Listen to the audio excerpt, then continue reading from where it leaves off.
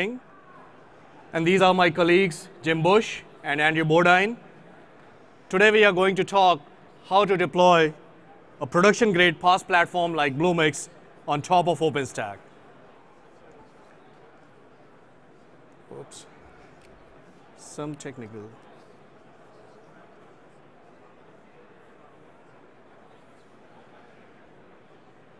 Ah, give me a moment.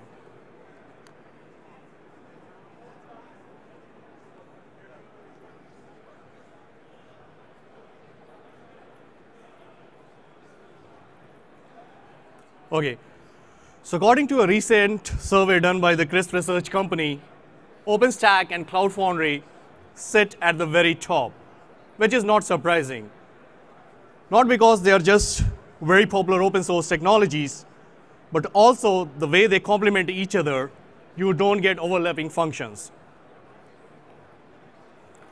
So now, with that, let's talk about Bluemix and what it is.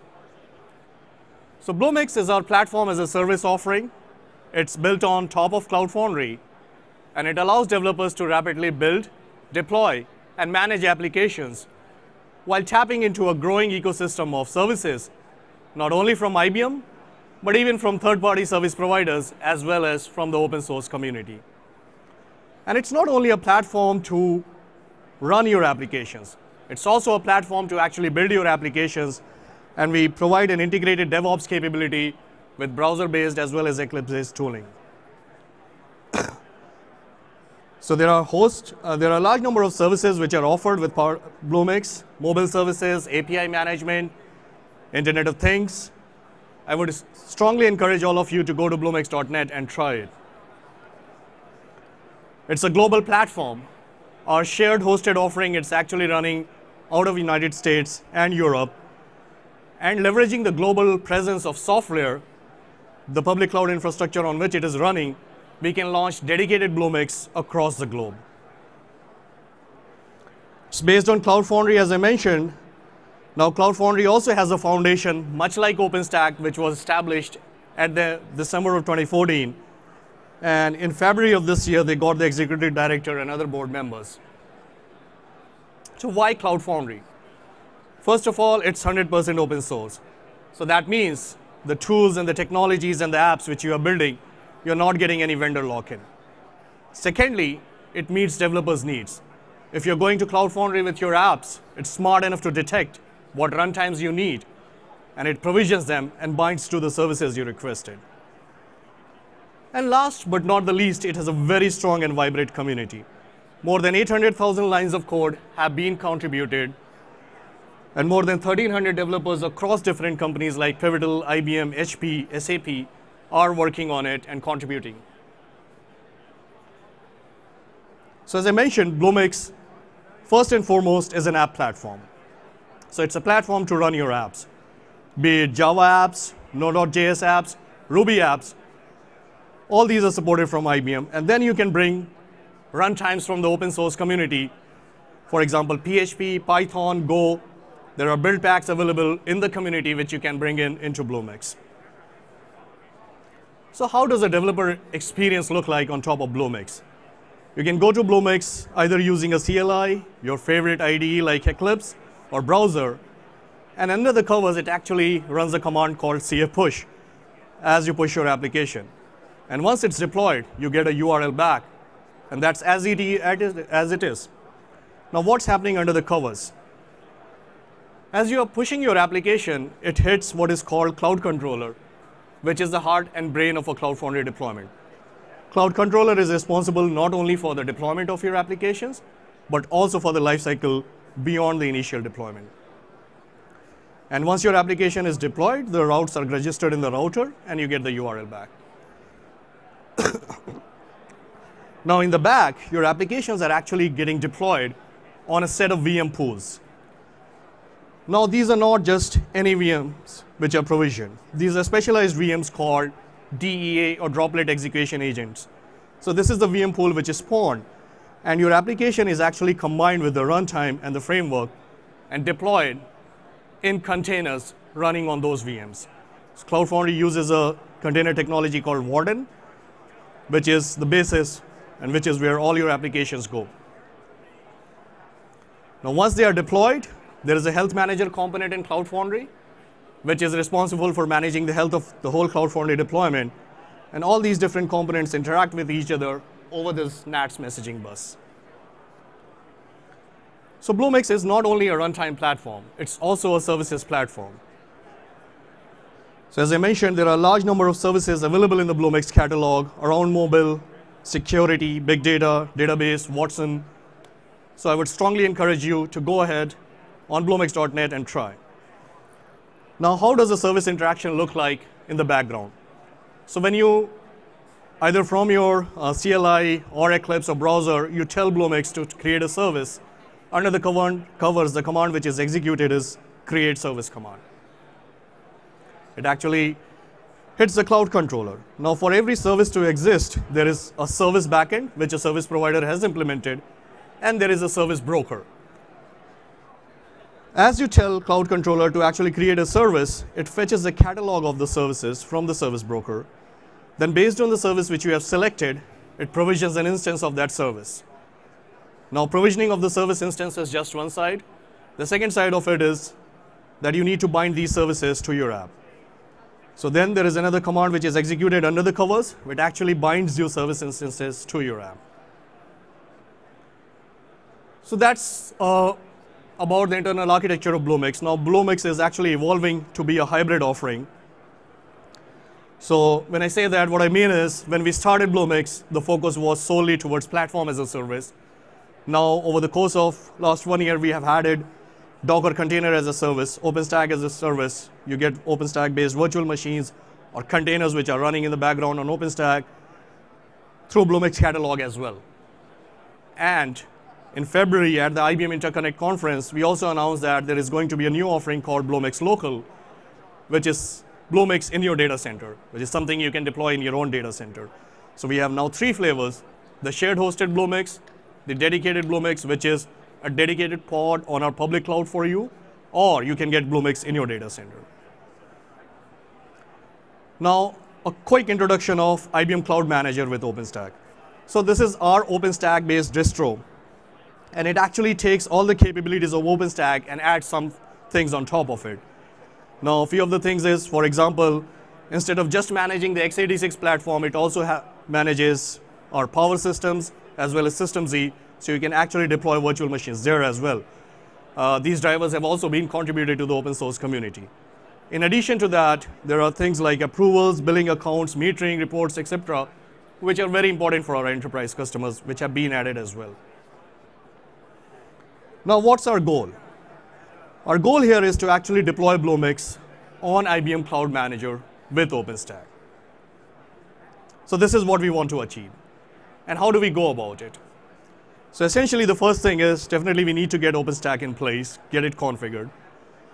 Then what we do is we boot up a machine called Inception Machine, which essentially has all the bill of materials which we need to deploy Bluemix. So it has all the Bluemix releases, the code, the client, and it also has a special agent called UrbanCode Bluemix Deployment Client, and we'll talk about it as we go through it.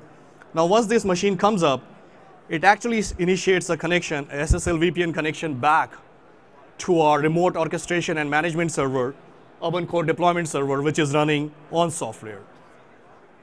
Once that connection is established, the first thing which a remote UrbanCode deployment server, which is running on SoftLayer, does is it checks whether the bill of materials on that inception machine is current or not. If the releases which were baked in, or the stem cell files, or anything, if they're outdated, it actually updates it back. Now, once it's updated, then UrbanCode Deployment Server remotely from SoftLayer orchestrates the deployment as well as the lifecycle management of this whole Bluemix platform on top of OpenStack. So now let me talk about BOSH, which is one of the tools which is at the heart and center of this whole Bluemix deployment. The whole core Cloud Foundry components are deployed using BOSH. But not only Cloud Foundry components, a lot of the components which we are adding for Bluemix onto the management side, within IBM, we are also creating BOSH releases and BOSH packages for it. So BOSH, as I mentioned, is the deployment as well as the lifecycle management tool for Bluemix and Cloud Foundry. Now BOSH has an architecture of its own where there is a BOSH director which in turn interacts with a database, but it's essentially a client-server based architecture where there are a lot of BOSH agents which go into all the Bluemix components which are deployed. And then it uses those agents actually to make sure that Bluemix is running up, up and running properly, and if not, it can actually take corrective actions. The other thing which is on the right side of this slide is what we call a cloud provider interface, which is how BOSH interacts with different infrastructure as a service platforms. So be it OpenStack, be it VMware, be it Amazon Web Services or Google App Engine, if we need to run Cloud Foundry on top of an IaaS, that, that CPI needs to be implemented. And the OpenStack CPI has actually been implemented and uses the FOG, which is the open source cloud library, under the covers to interact with OpenStack, to create VMs, to create networks, create persistent volumes, bind them, etc. So how does BOSH work? BOSH actually takes a release, which is a collection of software packages, a MySQL package or a Cloud Foundry package. It then takes a base OS image, which is called the stem cell image. And then there is a deployment manifest, which is the contract in terms of what all needs to be deployed on top of OpenStack. So that deployment manifest tells BOSH that this is where OpenStack is running. These are the credentials to get into it. Use this base OS image. These are the releases of Cloud Foundry and Bluemix. BOSH takes all, all of them together, spawns virtual machines on OpenStack, and then converts them into different Cloud Foundry and Bluemix components. This is a sample manifest, as you can see here. Uh, typically, they can run into thousands of lines based on all different things you are deploying, and you can specify things, how many instances of some particular thing you want, etc. so as I mentioned, BOSH is not only a deployment tool, it's also a lifecycle management tool. So you can actually use BOSH to scale your Cloud Foundry and Bluemix instances. So for example, some of the components of Cloud Foundry like Cloud Controller, routers, etc. As we define in that manifest and if we change the numbers, BOSH then detects that there are changes in the manifest and you can initiate to scale this environment or reduce this environment on demand. Okay, with that, uh, let me pass on to Jim Busche, who is going to give a bit of details about how did we configure OpenStack, or ICM in our case, for this particular Bluemix deployment. Thank you, Animesh. Hi, my, can you hear me? Great. My part of the project was to get OpenStack up and running in this environment so that Animesh and Andy could get the Cloud Foundry and ultimately the Bluemix local up and running. And to get OpenStack in my environment, uh, I went with the IBM Cloud Manager, the, the uh, 4.3 version. And let me get that. So to get the OpenStack running, the IBM Cloud Manager running, it's actually very simple. It's a single executable binary that you can download and, and install on your server. The first server you install it on is called a deployment server, and it takes about three minutes or so to unpack and install with that single binary. And you end up with a running Chef server at the end of that, where you can run, use to then deploy, manage, update, and and uh, uh, use that to, to work with your cloud. Um, oh, let me go back. The uh, the cloud manager has sample files that it comes with. It has a lot of JSON files for advanced configuration if you want to do uh, advanced deployment of your cloud. But also with IBM, they are providing YAML files, which are very simple uh, configuration files. And so this is an example of uh, ours. It's hard to read, but you get this as part of the ICM code. Uh, what you need to do if you use the YAML file is just modify your host names, your Ethernet interfaces if you have uh, differences from the sample, and uh, and then you can just deploy and run your cloud. If uh, if you want, we have some examples here of some advanced configuration that we've done. We've modified some of our quotas. We've modified uh, compute node numbers. We've modified, uh, like we're auto installing some of our uh, glance images as part of the cloud deployment, so it makes it easier in, in following steps. There's less configuration that you have to do from the start. So once you have the ICM installed and running, you end up with a Kilo environment. So this is uh, the latest OpenStack that you can have. It has all the OpenStack APIs and uh, all, all, the CLI commands that you expect and, and you're familiar with. Uh, and then with our YAML file, if, if, you deployed with it, you end up with all the compute nodes and the controller nodes that you requested and asked for. Uh, we use Logical Volume Manager for our Cinder storage. Uh, you can also, ICM supports, if you want uh, higher availability, you can use SAN, uh, like NetApp, you can use EMC, XIV, or Storwize storage.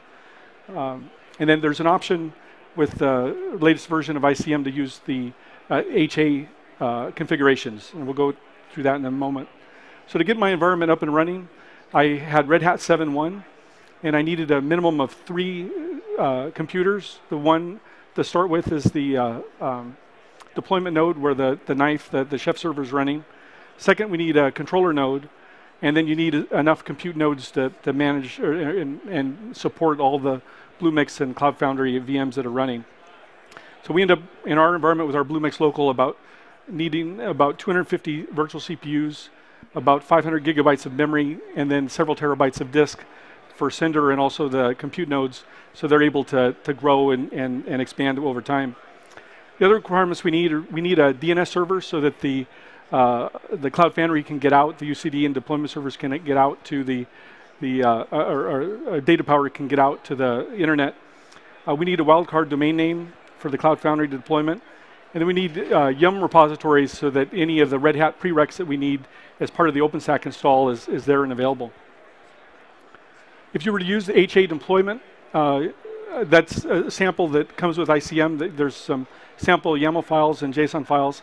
And if you use the sample, you'd end up with a, a three controller configuration for HA. And you can go as many as 10 uh, controllers if you wanted, uh, but, but it starts with three. Uh, the nice thing about this is it not only gives you HA very easily through those YAML files, but it also gives you some scalability, advanced scalability. Uh, you end up with multiple copies of all services over multiple controllers, uh, and all load balanced using HA proxy and the pacemaker. And then the DB2 uh, under the scenes for the database, they use an HADR replication uh, across all the controllers for the DB2. And then ICM, of course, has the uh, Horizon dashboard that you, you know and love, but to help reduce the complexity, the PhD that, that they were talking about in the keynote that a lot of users need, uh, they've, they've put in for, for end users a self-service UI. And you may notice that this looks fairly similar to the Bluemix UI that, that uh, we have up in SoftLayer. So they're trying to get a unified look and feel and common, common feel to uh, using the, the IBM Cloud. And from this, you can start instances, see your instances, you know, destroy instances. Then a key component once we had OpenStack up and running was to get the the uh, uh, the Cloud Foundry software and to get the Bluemix software on and running in this environment. And so what we have is this Bluemix in, uh, uh deployment inception image. And we actually share this with several other projects at IBM. And so there's a team that actually makes this inception image. And they, it's a, uh, an Ubuntu image that they've embedded DataPower, they've embedded the, the BOSH uh, uh, um, software, the Cloud Foundry software, and so they're using it, but it's in a VMware environment. So we needed to convert this over, be able to use it in our environment.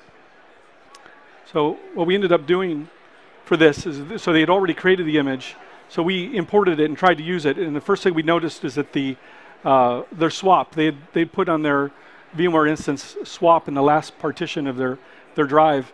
So when we tried to deploy this with OpenStack, uh, and we tried to go with any large flavors, the disk wouldn't uh, resize automatically. It, it, would get the larger size, but the file system wasn't auto, auto resized.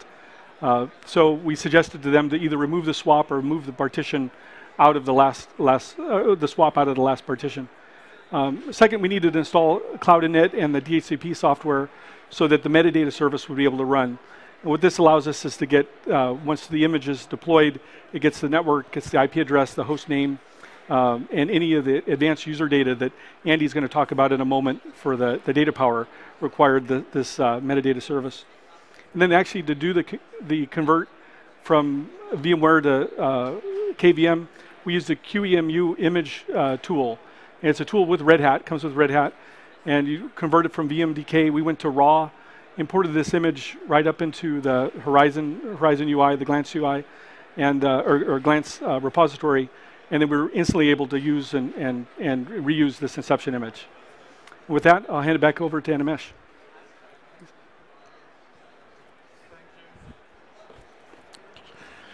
Thanks. It was a great overview of uh, how did we configure ICM.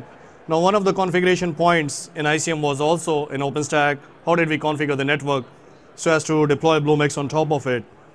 So essentially, uh, taking a look at it from a networking point of view, how did we actually do that? So this is a view of our Bluemix environment on OpenStack. From an OpenStack perspective, if you see, as Jim talked about, essentially we have a controller node, we have a chef node, and then there is a Cinder volume node, and then there are compute nodes on top of which your Bluemix deployment goes.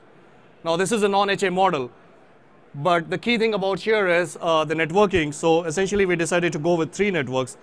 So one is our private OpenStack management network, which is essentially the communication between the controller and the compute nodes that goes over the private OpenStack management network.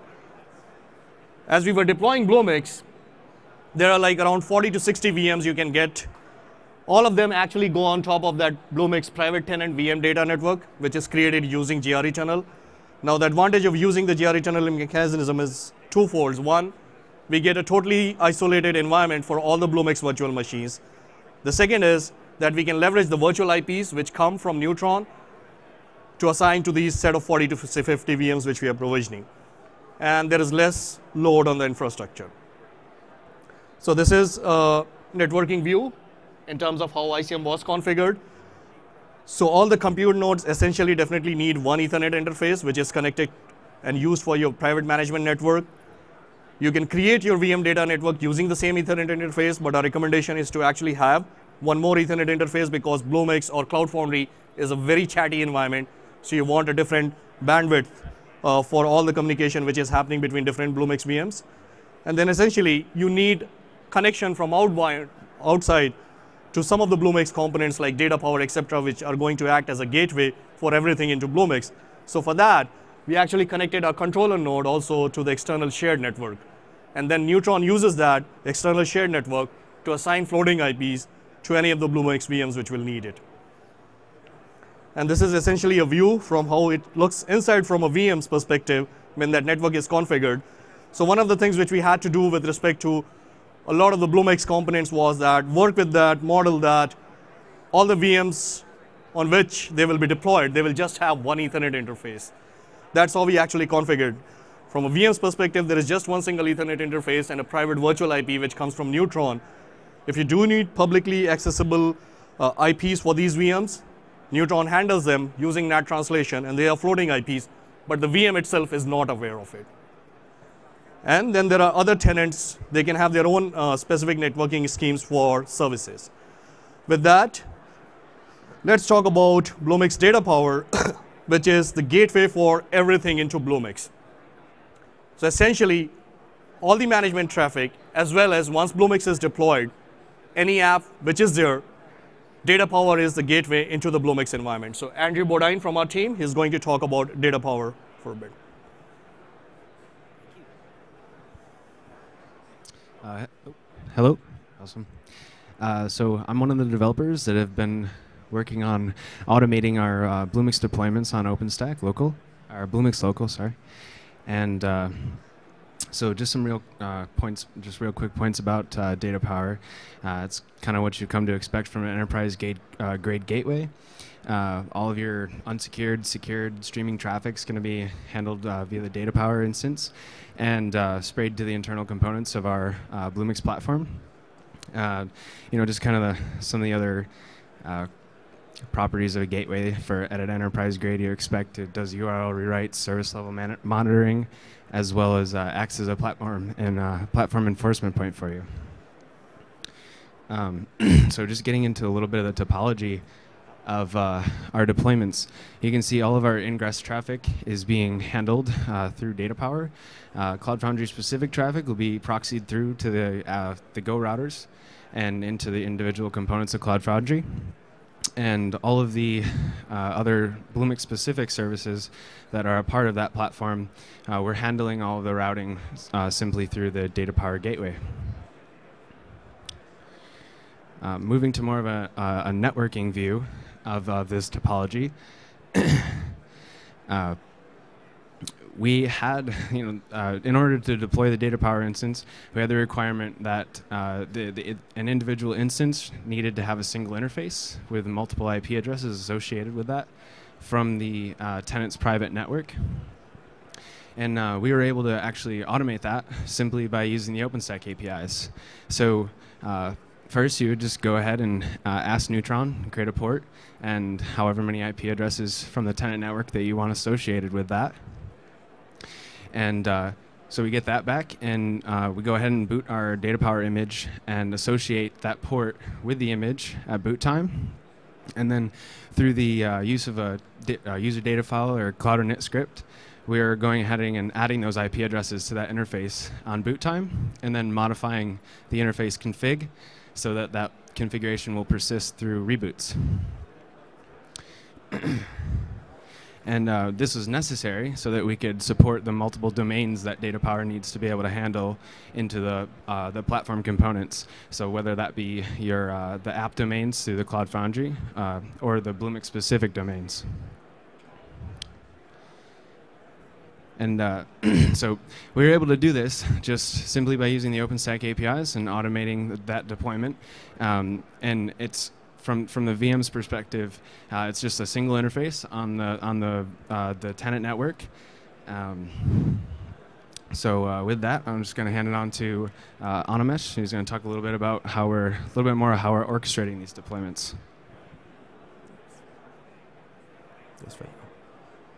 Thanks, Andy.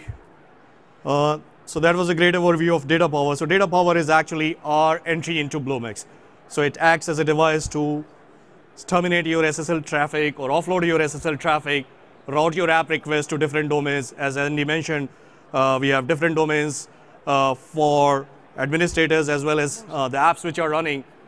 And also uh, the customers or the environments where we deploy, they will have their own customer domains. So for all these different domains, we need to provide different SSL certificates. So that was one of the requirements that we need to have these multiple IP addresses so as to provision different SSL certificates to different kinds of clients who are coming on these different domains. So with that, we covered um, our OpenStack configuration. We covered DataPower, which is the entry into the OpenStack. We covered the inception machine, which is what is used by our remote server, which is running on SoftLayer to orchestrate the deployment and the lifecycle. Now let's talk about this remote server which is the remote component which is running on top of IBM SoftLayer and actually responsible for orchestrating the deployment as well as the lifecycle management of this whole platform which is running. So it's called UrbanCode Deploy. That is an acquisition which IBM made a couple of years ago. So one of the key functionalities which UrbanCode Deploy provides is essentially being able to assimilate code artifacts and binaries from a host of repositories. So as we mentioned, Bluemix, Bluemix itself is an amalgamation of a large number of components. So that means there are automation codes associated with all these components, including DataPower, for example, or the inception machine. And these are residing in different repositories, SCM-based repositories like GitHub, RDC, etc. So DataPower acts as the central point in terms of being able to pull code from all these different repositories, and it stores in a local code station. Now, once it has pulled all that code, it can actually push it, right? So there are two ways to go. One is it can actually use a relay server. So the relay server is something which actually can co-locate and co-reside with your agents where you need to push the deployment. So if you have multiple agents where you are pushing the deployment or multiple environments, the recommended architecture is actually to have a relay server so that it can cache the data closer to your environments. Secondly, what it also allows, if your network is very restricted, you don't want to have multiple firewall holes punched if you are having multiple agent machines which are running in your private environment. So the relay server actually can be just one gateway in terms of entry to that environment, and your multiple agents can be connected through the relay server. Now, it allows you to define the design of your uh, process in terms of deploying what you are going to deploy. So as you can see on this screen, some of the basic Cloud Foundry components like BOSH CLI, Micro BOSH, Bluemix, everything you can define as a component and you can deploy, de design this process flow in terms of going through a step-by-step -step instructions And you can have checkpoints, you can have decisions, markers in terms of if it is a VMware platform, do this.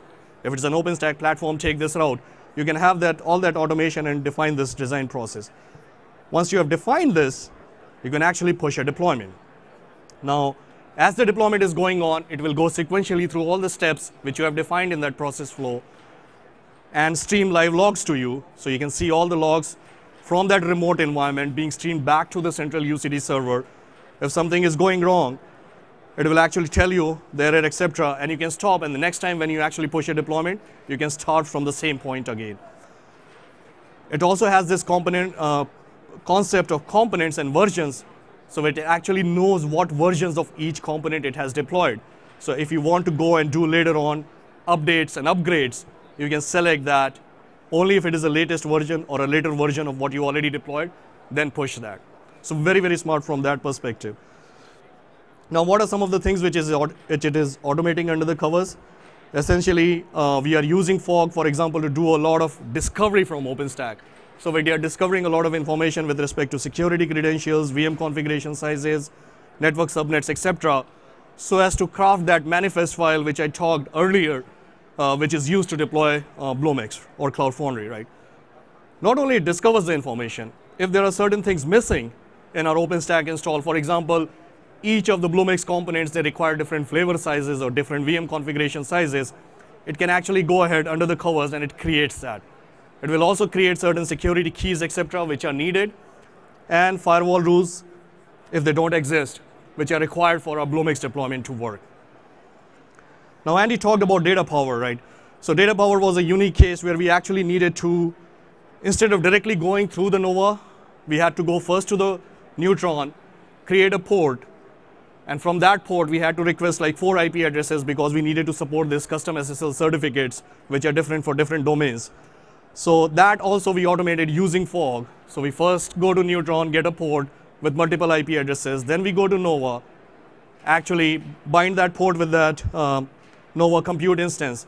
And last but not the least, once that VM is provisioned, the DataPower VM, those IPs, the other IPs which we added, they're not bound to the interface. So that's something we do by leveraging the metadata. But all this is also automated using Fog under the covers. And finally, definitely we use BOSH and Ruby templating mechanism under the covers to do a lot of Cloud Foundry deployment automation in terms of creating and uploading your releases, stem cells, deploying them, etc. And the great thing about BOSH, as I mentioned, that it also allows you to manage the lifecycle in terms of updates and upgrades. So we can use the same central UrbanCode deployment server, which is sitting remotely to do a remote update and upgrade on your environment. So we kind of covered all the core pieces uh, which form our Bluemix deployment. Now, a couple of things which I also want to mention is uh, the work uh, which we are doing on the monitoring side, on the logging side, etc. So, and these are key because for any platform which is going to be remotely managed, remotely updated and upgraded, you need to have a view into the monitoring. You need to have a view into the logs, etc. So for monitoring, we actually use open source uh, project called Graphite, and then there is another version of it, Grafana. So essentially, it's a collector dashboard agent-based model where there are multiple agents which are collecting monitoring data for you. They are streaming it back to a collector, and then there is a Graphite or Grafana dashboard which actually displays it for you. Uh, the database which it uses under the cover is InfluxDB, which is a time series database, which is very fast at processing if your environment is very distributed in terms of putting, pulling up that monitoring data and analyzing it and producing it for a monitoring view.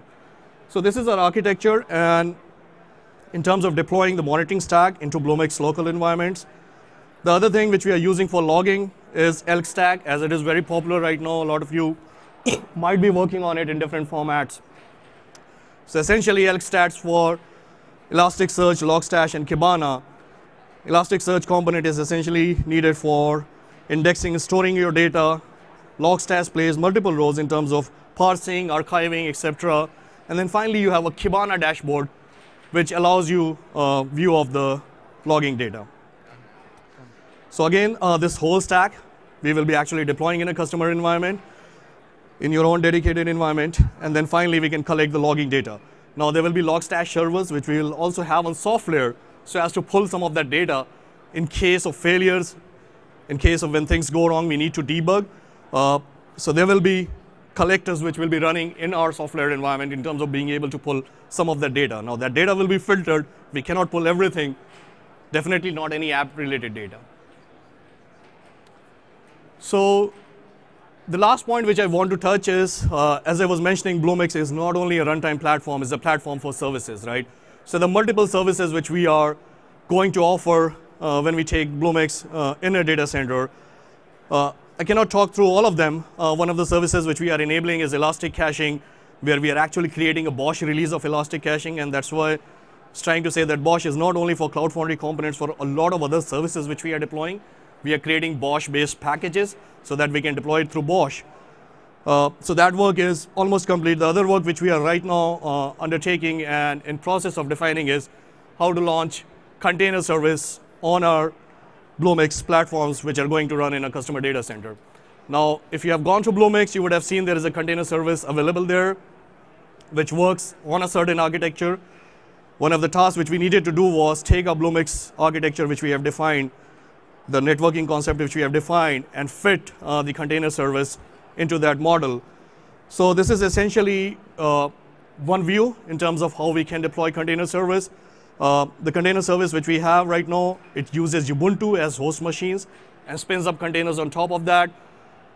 Our ICM environments, uh, they are Red Hat based. The Red Hat are the host machines. So one model which we are actually trying out is creating virtual machines, Ubuntu based virtual machines, and then adding them back uh, to OpenStack to treat them as hypervisors. And then using the Nova Docker driver there to actually spin up containers. So that's the model.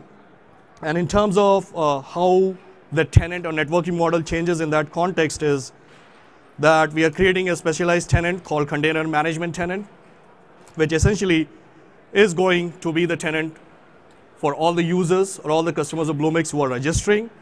And for every user who is getting registered onto this uh, particular container management service, we spawn up a different tenant and he goes into that particular tenant. So what you can see on the right hand side is container tenant one, container tenant two. So part of the reason is also when the container management service, uh, which we have, which was written, we are relying heavily on OpenStack tenant-based quota and quota enforcement policies for doing billing, metering, chargeback. So this is one model in terms of if we align with the container models or the tenant model, we can actually enforce for each user uh, the billing and the quota, and that is already in place. Now there can be a better way to do this or an alternative way to do this, which is essentially you get all these different users registered in the same tenant. Uh, what we do need to, uh, that's an exploration we are doing in the background is how can we enforce quotas and policies within one tenant for different customers who are getting registered. So this is an example how we are getting different services within Bluemix, which you see in the hosted catalog. So with that, uh, we covered what we wanted to cover in terms of taking you through our journey of how we are taking Bluemix and running it on OpenStack in parallel, there is also an effort to make and ensure that we can run Bluemix on VMware. And you'll be hearing very soon from us in terms of some solid uh, steps going forward with respect to this. Any questions, comments, and you can also reach out to us on our Twitter handles if you have any further questions beyond. Yeah. He had me do it, yeah. Okay, thanks everyone.